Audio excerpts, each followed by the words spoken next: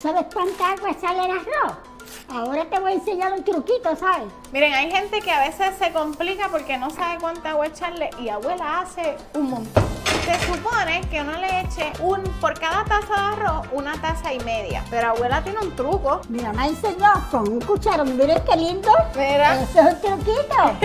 ¿Y cómo es eso? Si el cucharón se queda así paradito, es que está bien de agua. si se cae es que tiene agua, pero si mira, se queda ahí derechito, miren esto, esto parece una obra de arte. Ah, si sí. se queda ahí derechito, es que está perfecto de agua. Qué chévere. Sí, porque con abuela todo es a ojo. Así que esta es una forma para saber cuánto más o menos de arroz. Pero recuerden el truco de abuela.